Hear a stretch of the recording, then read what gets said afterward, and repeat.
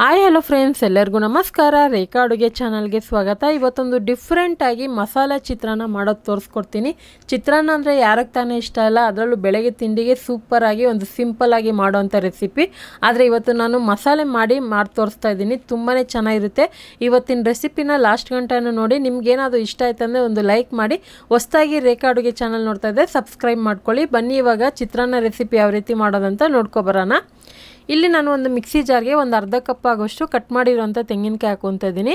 ಒಂದು ಕಾಲು ಕಪ್ ಆಗೋಷ್ಟು ಕೊತ್ತಂಬರಿ ಸೊಪ್ಪು ಹಾಕೊತಾ ಇದ್ದೀನಿ. ಒಂದು ಐದರಿಂದ ಆರು ಹಸಿರು ಮೆಣಸಿನ್ಕಾಯಿ, ನಿಮಗೆ ಖಾರ ಜಾಸ್ತಿ ಬೇಕಂದರೆ ಇನ್ನೂ ಎರಡು ಹಾಕೊಬೋದು. ಒಂದು ಇಂಚು ಶುಂಠಿನೂ ಒಂದು ಐದರಿಂದ ಆರು ಪೀಸ್ ಆಗೋಷ್ಟು ಬೆಳ್ಳುಳ್ಳಿ, ಒಂದು ಚಿಕ್ಕ ಪೀಸ್ ಚಕ್ಕೆ, ಎರಡು ಲವಂಗ ಹಾಕ್ಕೊಂಡು ಇವಾಗ ನಾವು ಮಿಕ್ಸಿನಲ್ಲಿ ತೆಂಗಿನಕಾಯಿ ತುರ್ಕೊಳ್ಳಲ್ವ, ಆ ಥರ ಇದನ್ನು ತರ್ತರಿಯಾಗಿ ತುರ್ಕೊಬರಬೇಕು ಯಾವುದೇ ಕಾರಣಕ್ಕೂ ನೀರು ಹಾಕಿ ಪೇಸ್ಟ್ ಮಾಡೋಕ್ಕೆ ಹೋಗಬೇಡಿ. ಸೊ, ಇವಾಗ ನೋಡಿ, ನಾನು ತರ್ತರಿಯಾಗಿ ತುರ್ಕೊ ಇದು ತುರಿದಿಟ್ಕೊಂಡಿದ್ದೀನಿ, ಮಿಕ್ಸಿ ಜಾರಲ್ಲಿ ಹಾಕ್ಕೊಂಡು.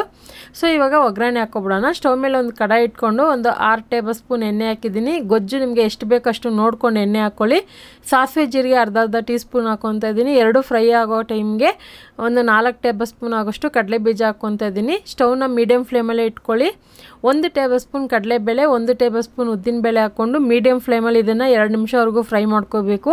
ಆಲ್ರೆಡಿ ನಾನು ಎರಡು ಮೂರು ಥರ ಚಿತ್ರಾನ್ನ ರೆಸಿಪಿ ಹಾಕಿದ್ದೀನಿ. ಅದನ್ನು ನೋಡಿಲ್ಲ ಅಂದರೆ ಒಂದು ಸರಿ ಚೆಕ್ ಮಾಡಿ. ಇವತ್ತು ಮಾಡೋದಂತೂ ತುಂಬಾ ಡಿಫ್ರೆಂಟು ಟೇಸ್ಟು ಸಖತ್ತಾಗಿರುತ್ತೆ.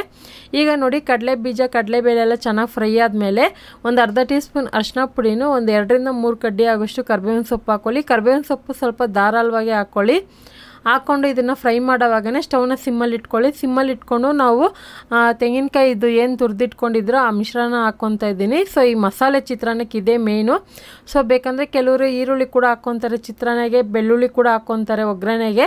ಸೊ ನಿಮಗೆ ಬೇಕು ಅಂದರೆ ಇಲ್ಲಿ ಬೆಳ್ಳುಳ್ಳಿ ಜಜ್ಜಿಬಿಟ್ಟು ಹಂಗೆ ಒಗ್ಗರಣೆಗೆ ಹಾಕ್ಕೊಬೋದು ಈರುಳ್ಳಿನೂ ಹಾಕ್ಕೊಬೋದು ಸೊ ಇದೆಲ್ಲ ಹಾಕಿ ಮೀಡಿಯ ಸಿಮ್ಮಲ್ಲೇ ಇಟ್ಕೊಂಡು ಒಂದು ಎರಡು ನಿಮಿಷ ಫ್ರೈ ಮಾಡಬೇಕು. ಗೊಜ್ಜಿಗೆ ಎಷ್ಟು ಬೇಕೋ ಅಷ್ಟು ನೋಡಿಕೊಂಡು ಉಪ್ಪು ಹಾಕ್ಕೊಳ್ಳಿ ಸುಮಾರು ನಾನಿಲ್ಲಿ ಒನ್ ಟೀ ಸ್ಪೂನ್ ಆಗೋಷ್ಟು ಹಾಕ್ಕೊಂಡಿದ್ದೀನಿ ಸೊ ಇದಕ್ಕೆ ಒಂದು ಕಾಲು ಟೀ ಸ್ಪೂನ್ ಆಗೋಷ್ಟೇ ಹಿಂಗು ಕೂಡ ಹಾಕ್ಕೊತಾ ಇದ್ದೀನಿ. ಒಳ್ಳೆ ಫ್ಲೇವರ್ ಕೊಡುತ್ತೆ.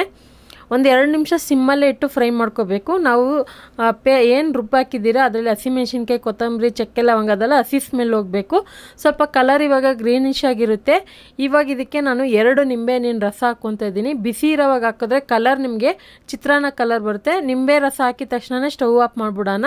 ಸ್ಟವ್ ಆಫ್ ಮಾಡಿಬಿಟ್ಟು ಸ್ವಲ್ಪ ಬಿಸಿ ಇರೋವಾಗ ಅನ್ನ ಹಾಕಿ ಮಿಕ್ಸ್ ಮಾಡ್ಕೋಬೇಕು. ಸೊ ಇದನ್ನು ನೀವು ಸ್ಟೋರ್ ಕೂಡ ಮಾಡಿ ಇಟ್ಕೊಬೋದು. ನಾನು ನೋಡಿ, ಗೊಜ್ಜು ಎಷ್ಟು ಬೇಕಷ್ಟು ಅನ್ನಕ್ಕೆ ಮಿಕ್ಸ್ ಮಾಡೋದಕ್ಕೆ ಬಿಟ್ಬಿಟ್ಟು ಉಳಿದಿರೋ ಅದನ್ನ ಎತ್ತಿಟ್ಕೊತಾ ಇದ್ದೀನಿ. ಒಂದು ಮೂರು ನಾಲ್ಕು ದಿವಸವರೆಗೂ ಫ್ರಿಜ್ಜಲ್ಲಿ ಇಟ್ಕೊಂಡು ನೀವು ಯಾವಾಗ ಬೇಕು ಅವಾಗ ಬೆಳಗ್ಗೆ ತಿಂಡಿಗೆ ಮಿಕ್ಸ್ ಮಾಡ್ಕೊಬೋದು. ಅಥವಾ ಬೆಳಗ್ಗೆ ಉಳಿದಿರೋ ಅನ್ನಕ್ಕೂ ಕೂಡ ನೀವು ಮಿಕ್ಸ್ ಮಾಡ್ಕೊಂಡು ತಿನ್ಬೋದು ಯಾವಾಗ ಬೇಕಾದ್ರೆ ಆವಾಗ ಇಲ್ಲಿ ನಾನು ಅನ್ನ ಹಾಕ್ಕೊತಾ ಇದ್ದೀನಿ. ಆಲ್ರೆಡಿ ಪಾತ್ರೆಯಲ್ಲಿ ಬಿಸಿ ಬಿಸಿಯಾಗಿ ಮಾಡಿಟ್ಕೊಂಡಿದ್ದೆ. ಸೊ ಅದನ್ನು ಹಂಗೆ ಡೈರೆಕ್ಟಾಗಿ ಹಾಕ್ಕೊತಾ ಇದ್ದೀನಿ. ಗೊಜ್ಜು ಎಷ್ಟು ಬೇಕೋ ನೋಡಿಕೊಂಡು ಅನ್ನ ಮಿಕ್ಸ್ ಮಾಡ್ಕೊಬೇಕು. ನಿಮಗೆ ಲೈಟಾಗಿ ಬೇಕಂದರೆ ಗೊಜ್ಜು, ಕಡಿಮೆ ಹಾಕ್ಕೊಳ್ಳಿ ಜಾಸ್ತಿ ಡಾರ್ಕ್ ಆಗಬೇಕಂದ್ರೆ ಗೊಜ್ಜು ಜಾಸ್ತಿ ಹಾಕ್ಕೊಳ್ಳಿ ಉಪ್ಪು ಖಾರ ಅನ್ನೋದು ನಿಮ್ಗೆ ಎಷ್ಟು ಬೇಕೋ ನೋಡಿ ಹಾಕ್ಕೊಳ್ಳಿ ಉಪ್ಪೇನಾದ್ರು ಕಡಿಮೆ ಅನಿಸಿದ್ರೆ ಮತ್ತೆ ಇವಾಗ ಅನ್ನ ಮಿಕ್ಸ್ ಮಾಡೋ ಕೂಡ ನೀವು ಹಾಕೊಬೋದು.